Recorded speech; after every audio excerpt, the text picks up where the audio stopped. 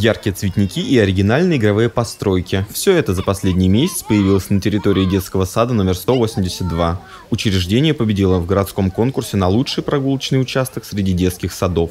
Всего на территории более 10 таких участков, персональные для каждой группы. Новые, красивые, а главное безопасные уличные фигуры появились благодаря совместному труду родителей и воспитателей. Хочется сказать, что огромную внесли лепту в оформление участков это родители.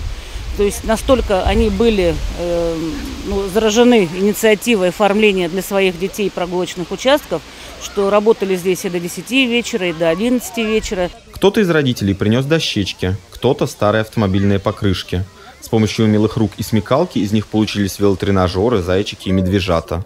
Нужды в крупных материальных затратах не было. Купили только краски и кисточки. Я ходила несколько дней, ну раза три точно я была.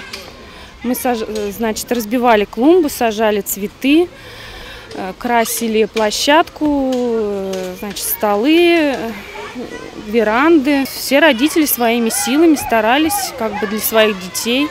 Это более, ну, как бы дешевле все обходится и интереснее и взрослым, и детям. Этот детский сад компенсирующего вида. Посещают его дети с нарушением зрения. А потому, помимо традиционной песочницы, здесь имеется оригинальный столик, на котором есть все для развития мелкой моторики.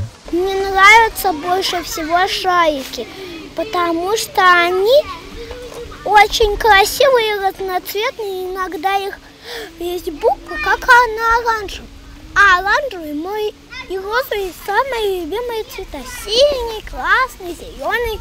Но, но тут еще есть камушки, э, конструктор, песок, э, шишки. Я сейчас играю в шишки, но я могу их соединять. Я вот так. Среди кораблей и беседок есть и спортивные сооружения, почти как настоящие, только в миниатюре.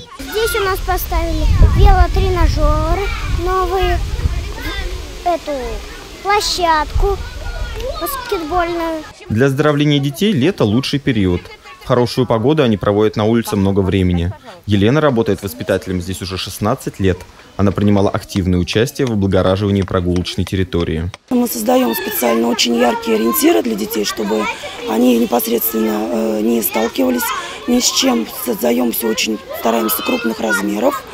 Вот. Мы создали очень хорошую беседку с яркими ориентирами в виде бабочек.